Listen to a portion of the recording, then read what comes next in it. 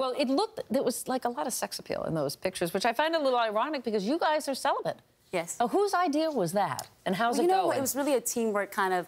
Uh, it, it, was a teamwork effort, and um, I have to say, um, it was also awesome because he was also a leader in the process of it, of us talking about. It. We were just talking about like life and like Who how we that you see said was- Russell. Oh, Russell, yeah. yeah. He was a leader in the, in the Yeah. process as well. And truthfully, we kind of both the timing just kind of happened at the same. It was a part of the conversation we were having, and we just kind of like came to the idea of it and um, the challenge of it, um, of it all. So that was it was just a very organic thing for us. And but we how do you in make place. that decision, Ciara? How do... You know what? It's it honestly, it's a spiritual thing for Yeah. us. Um, you know, our love for God, our love for one another, and just wanting to really know each other and grow with each other, and let it be about that at the base of it all.